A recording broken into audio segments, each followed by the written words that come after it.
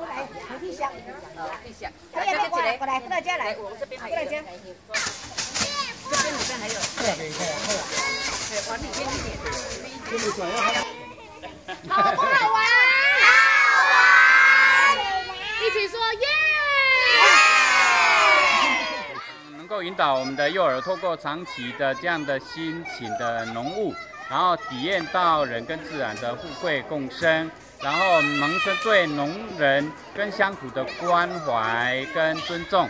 我们收割之后，除了一部分做我们的米食啊、呃、料理之外，我们也希望透过义卖，然后有一些收益来关怀我们社区的一些老人，然后也透过呃幼儿跟老人的互动，然后产生情感的连接。